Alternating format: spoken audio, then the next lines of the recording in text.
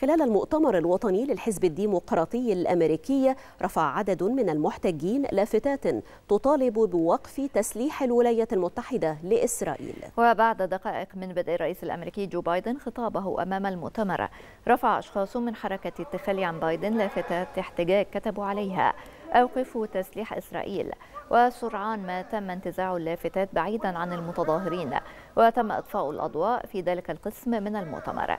وكانت المجموعة الاحتجاجية قد شنت حملة ضد إعادة انتخاب بايدن منذ بداية الحرب على القطاع.